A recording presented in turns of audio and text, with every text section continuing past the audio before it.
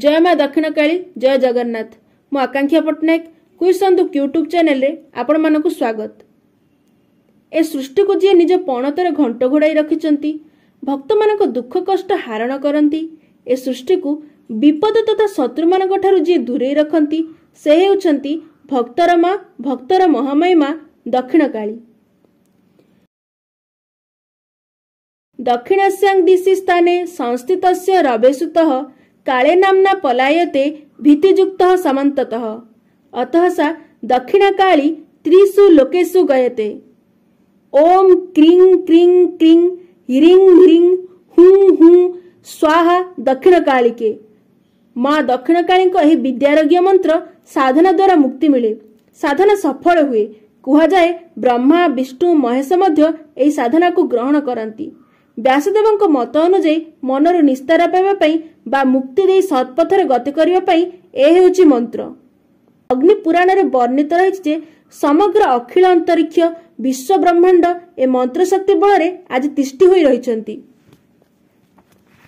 କେତେକ ଶାସ୍ତ୍ରରେ ମା କାଳୀଙ୍କୁ ନଅ ଭାଗରେ ସ୍ଥାନ ଦିଆଯାଇଛି ଯଥା ଆଦ୍ୟାକାଳୀ ଦକ୍ଷିଣକାଳୀ ଭଦ୍ରକାଳୀ ଗୁରୁକାଳୀ କାମକାଳୀ ଧନକାଳୀ ସିଦ୍ଧକାଳୀ ଚଣ୍ଡିକା କାଳୀ ଓ କାଳ ଭୈରବୀ ଏବଂ କିଛି ତନ୍ତ୍ର ବିଜ୍ଞାନୀଙ୍କ ମତ ଅନୁଯାୟୀ ଚିନ୍ତାମଣି କାଳୀ ସ୍ପର୍ଶମଣି କାଳୀ ସନ୍ତତି ପ୍ରଦା କାଳୀ ସିଦ୍ଧବା କାଳୀ ଦକ୍ଷିଣ କାଳୀ କାମକଳା କାଳୀ ହଂସକାଳୀ ଏବଂ ଗୃହ୍ୟ କାଳୀ। ନବଗ୍ରହ ମାନଙ୍କ ମଧ୍ୟରୁ ଶନି ଗ୍ରହଙ୍କ ଆରାଧ୍ୟ ଦେବୀ ହେଉଛନ୍ତି ଜଗଜ୍ଜନନୀ ମା ଦକ୍ଷିଣ କାଳୀ। କୁହାଯାଏ ମହାରାଜ ଯମ ମଧ୍ୟ ମାଙ୍କ ନାମ ଶୁଣିବା ମାତ୍ରେ ଭୟଭୀତ ହୋଇ ସେ ସ୍ଥାନରୁ ଚାଲିଯାଆନ୍ତି।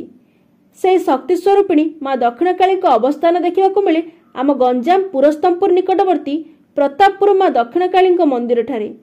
ଏଠାରେ ଭଗବାନ ତୁଙ୍ଗେଶ୍ୱରଙ୍କ ଅବସ୍ଥାନ ତୁଙ୍ଗ ଅର୍ଥାତ୍ ଉନ୍ନତ ଉଚ୍ଚ ବା ଶ୍ରେଷ୍ଠ। ପ୍ରଭୁ ଭଗବାନ ଶିବ ଶମ୍ଭୁଙ୍କ ପାର୍ଶ୍ୱ ମନ୍ଦିରରେ ପୂଜା ପାଆନ୍ତି ମା ଦକ୍ଷିଣକାଳୀ। ମନ୍ଦିର ଦ୍ୱାର ସମ୍ମୁଖରେ ନବଗ୍ରହଙ୍କ କ୍ଷୁଦ୍ର ମୂର୍ତ୍ତି ସ୍ଥାନିତ। ପାର୍ଶ୍ୱବର୍ତ୍ତୀ ଦେବୀ ଦେବତାମାନେ ପୂଜିତ ହୁଅନ୍ତି ଏହି ମନ୍ଦିରଠାରେ। ପରମବ୍ରହ୍ମ ସ୍ୱରୂପିଣୀ ମା ଦକ୍ଷିଣକାଳୀଙ୍କ ଗଞ୍ଜାମର ଆବିର୍ଭାବ ଲୋକକଥା ଅନୁଯାୟୀ ଭିନ୍ନ ଭିନ୍ନ। କାମ୍ପିଲ୍ୟଗିରି ମା ତାରାତାରିଣୀଙ୍କ ପୂଜିତ ସ୍ଥାନର ପାଖରେ ଅର୍ଥାତ୍ ଋଷିକୁଲ୍ୟା ନଦୀର ପାର୍ଶ୍ୱବର୍ତ୍ତୀ ଅଞ୍ଚଳରେ ମା ଦକ୍ଷିଣକାଳୀଙ୍କ ଅବସ୍ଥାନ। କୁହାଯାଏ ଏହି ଅଞ୍ଚଳରେ ପୁଲ ଋଷିଙ୍କ ଆଶ୍ରମ ଥିଲା। ପାର୍ବଣ ତିଥିରେ ଏଠାରେ ମାଙ୍କୁ ଦୁର୍ଗା ରୂପେ ପୂଜା କରାଯାଏ। ଦ ଅକ୍ଷର ଅର୍ଥାତ୍ ଦୈତ୍ୟ ନାଶିନୀ ଉକାରର ଅର୍ଥ ବିଘ୍ନ ବିନାଶିନୀ ତହିଁରେ ରେଫ ମାତ୍ରା ଅର୍ଥାତ୍ ରୋଗ ବିନାଶିନୀ। ଗ ଅକ୍ଷରର ଅର୍ଥ ପାପ ବିନାଶିନୀ ଏବଂ ଆକାରର ଅର୍ଥାତ୍ ମମତା ପ୍ରଦାୟିନୀ ପାର୍ବଣ ତିଥିରେ ବହୁ ଦୂର ଦୂରାନ୍ତରୁ ଲୋକମାନେ ଏଠାକୁ ଆସନ୍ତି। ଏଠି ଯେଉଁମାନେ ମାନସିକ କରିଥାନ୍ତି ତାଙ୍କରି ମନସ୍କାମନା ପୂର୍ଣ୍ଣ ହୁଏ। ମାଙ୍କ କୃପା ଦୃଷ୍ଟି ପଡ଼ିଲେ ଅନ୍ଧତାର ଆଖି ଫେରିପାଏ। ଶାରୀରିକ ଅକର୍ମଣ୍ୟ ବ୍ୟକ୍ତି ପୁନଃ ସୁସ୍ଥ ହୋଇପାରେ। ଅସମ୍ଭବ ସମ୍ଭବ ହୋଇପାରେ। ମାଙ୍କ ଶକ୍ତି ଅପରମ୍ପାର। ଜୌଗଣ ରାଜାଙ୍କ ଅଧିଷ୍ଠାତ୍ରୀ ଦେବୀ ମା ଦକ୍ଷିଣକାଳୀ।